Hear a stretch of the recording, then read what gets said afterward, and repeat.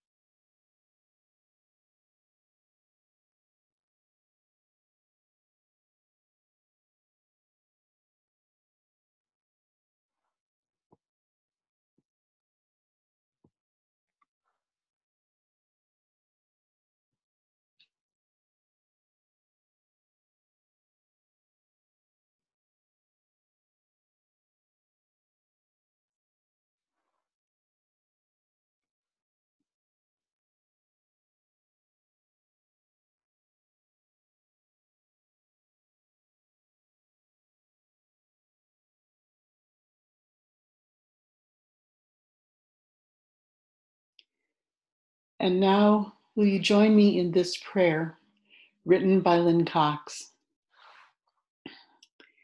Spirit of life and love, known by many names and yet fully known by no one, we give thanks for this time and this place of renewal.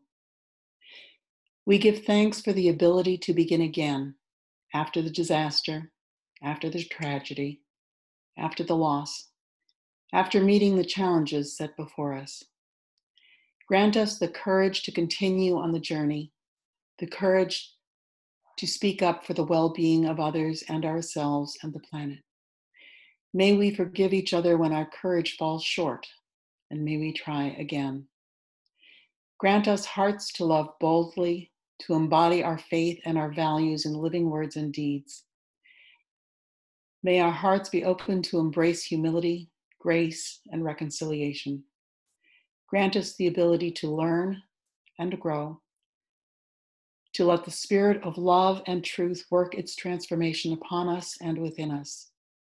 Grant us the spirit of hospitality, the willingness to sustain a fit dwelling place for the holy that resides in all being. Grant us a sense of being at peace in the world, even as we are in motion. Let us cultivate together the strength to welcome every kind of gift and all manner of ways to be on the journey together. To this, we add the silent prayers of our hearts. Blessed be. We ask these things for ourselves, for those we love, and for those whom we do not love. Amen. I have two short poems for this morning's reading. The first is by Adam Zagajewski, translated by Clare Cavanagh. Try to praise the mutilated world. Remember June's long day and wild strawberries, drops of wine, the dew, the nettles that methodically overgrow the abandoned homesteads of exiles. You must praise the mutilated world. You watch the stylish yachts and ships. One of them had a long trip ahead of it, while salty oblivion awaited others. You've seen the refugees heading nowhere. You've heard the executioners sing joyfully. You should praise the mutilated world. Remember the moments when we were together in a white room and the curtain fluttered. Return in thought to the concert where music flared. You gathered acorns in the park in autumn, and leaves eddied over the earth's scars. Praise the mutilated world, and the gray feather a thrush lost, and the gentle light that strays and vanishes and returns. The second is an excerpt from a poem by Alta. One hesitates to bring a child into this world without fixing it up a little. Paint a special room. Stop sexism. Learn how to love. Vow to do it better than it was done when you were a baby. Vow to make, if necessary, new mistakes. Vow to be awake for the birth, to believe in joy, even in the midst of unbearable pain. And now, will you welcome to our screen the Reverend Hannah Capaldi.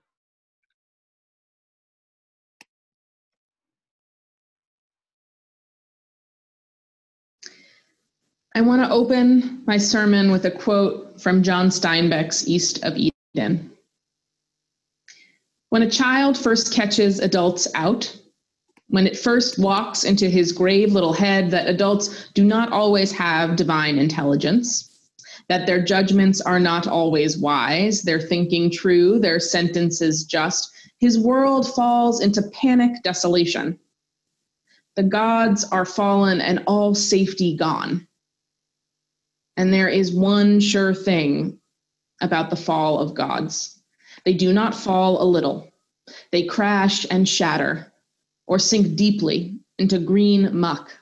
It is a tedious job to build them up again. They never quite shine. And the child's world is never quite whole again. It is an aching kind of growing. I was at a birthday party for my sister in law a few years back. She sat on the floor unwrapping presents, and as a great lover of reading and books, she received the most appropriate of presents the complete box set of Laura Ingalls Wilder. Everyone oohed and awed, but I was the only one who spoke through tears. Oh my God, I loved those books. The stories of Laura Ingalls Wilder's pioneer days were foundational texts in my development as a headstrong, nature loving girl. The stories of her life fed my early feminist spirit and captured a kind of freedom and wildness for me that I didn't see in the more masculine narratives of Gary Paulsen or Jack London. She was tough and self sufficient, living life with skinned knees and raw hems I read On the Banks of Plum Creek probably four times. These Happy Golden Years, maybe six. I consider Almanzo to be on the short list for potential baby names, and I was Laura for Halloween when I was eight. I was a total fangirl. You might have called her my hero. And I wasn't the only one. She was and continues to be super popular, capturing and preserving a specific cultural moment in history that illuminated an entire generation of American life. Wilder herself remarked during a speech at a Detroit book fair in 1937 that she had come to understand that in my own life I represented a whole period of American history. So, it was in June 2018 that I was faced with a reckoning of my own personal hero when the Association for Library Services to Children renamed the Laura Ingalls Wilder Award the Children's Literature Legacy Award. The association wrote in their press release, quote, ALSC has had to grapple with the inconsistency between Wilder's legacy and its core values of inclusiveness, integrity, and respect and responsiveness through an award that bears Wilder's name. Turns out my hero and the entire period of American history that she recounted so faithfully and had come to represent included a lot of racism, a lot of bigotry and xenophobia. In that push for westward, westward expansion, in the insistence of Laura's father to move west and take up the 160 acres that were offered by the Homestead Act of 1892, Wilder elided the truth of what that meant for the millions of people who were already living there. The 160 acres wasn't the government's to give, and it wasn't the Ingalls to claim, to farm and till and build. Their homesteading was an invasion, predicated on broken treaties and indiscriminate killing of Native American communities.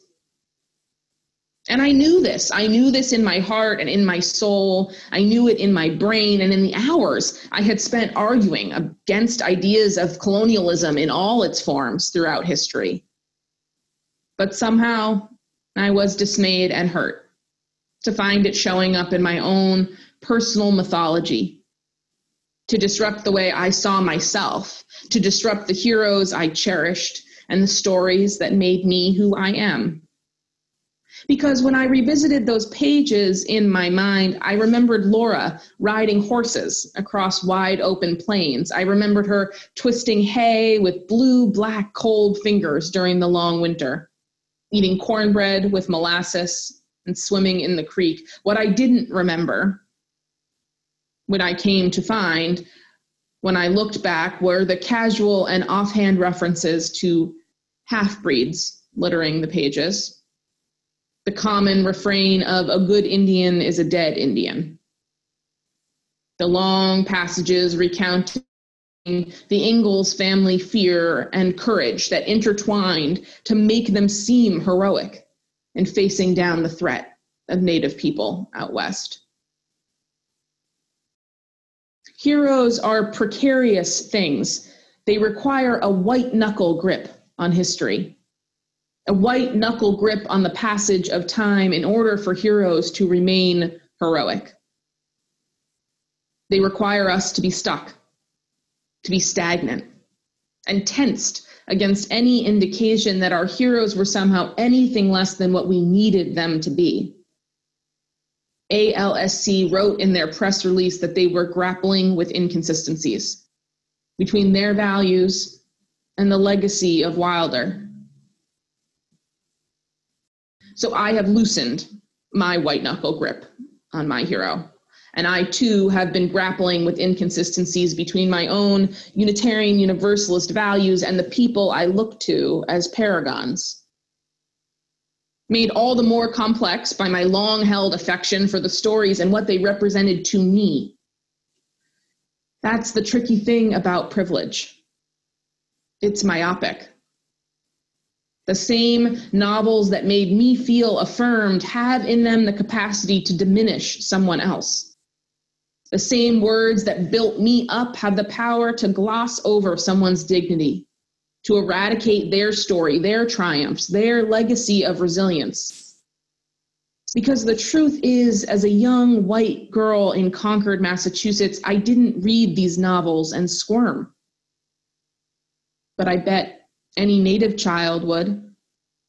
I bet any brown child would. And in a showing of solidarity, in a recognition that we cannot be free until we all are free, we grapple with inconsistencies. And we loosen our white knuckle grip on history. We release that tension in our hands that clings to the status quo. Those parts of history that we insist upon despite knowing full well that history is a slippery, subjective form. In unclenching our fists on the narratives we grew up on, we embrace humility and the possibility that what was good for us can be damaging for someone else. We accept that change is inevitable and that the gods of our lives may have been the devils for others. And we open our hearts to reimagining how former idols fit into the story now.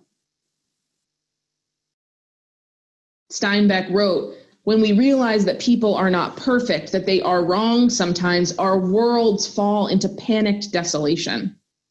All safety gone. And we are left wondering who or what is next? To be stripped of titles, renamed, canceled. We think with panicked desolation, could it be me? But to stay in that moment of panic at the realization that our heroes are in fact human is to forget our own religious roots. Christ was not God. and God was not Christ. We prefer fallibility. We chose the human Jesus over the divine Jesus. We prefer the complexity that comes with being human. We are the living tradition, one that upholds the holy process of change. As Unitarian Universalists, we believe that the white knuckle grip on history is soul crushing. There's nothing spiritually nourishing about stagnation. There's nothing faithfully joyful in never learning or growing. The living tradition that we all are a part of is one that wills us to accept that we will make mistakes, that we too are fallible like Christ, and that in relinquishing our white knuckle grip on rightness, we make space for something far, far more important. The Dr. Maya Angelou wrote, When you know better, do better. I keep this phrase close at hand and close to my heart. In order to know better, in order to do better, you must be prepared to have been doing it wrong in order to know better, so that you might do better, you must be open to the possibility that humility is humbling. I think we forget just how much aching is a part of growing. I am always surprised by how getting it wrong stings so much, how my mind and my spirit run rampant with guilt and shame.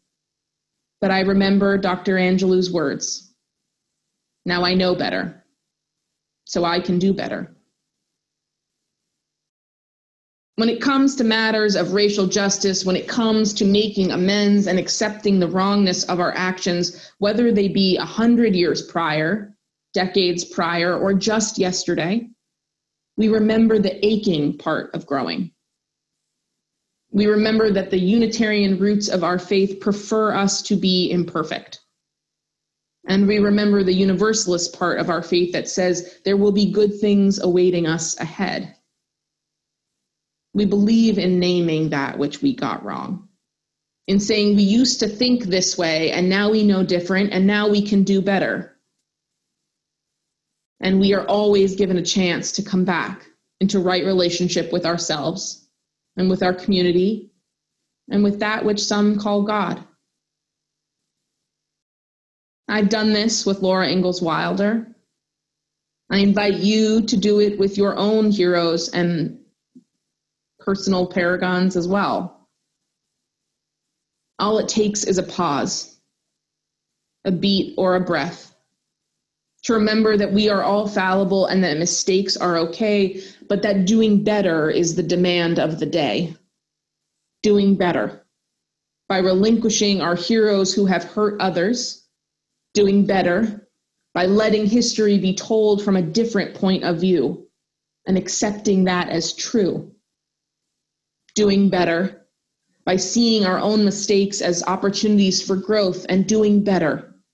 By moving through panic, moving through despair and into that brave new place where all are given their due dignity. May it be so, and amen.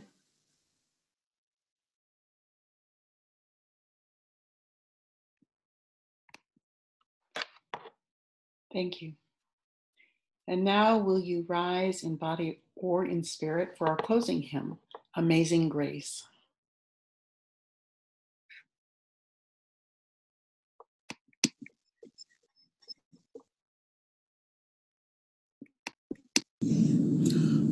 Amazing grace, how sweet the sound that saved a wretch like me.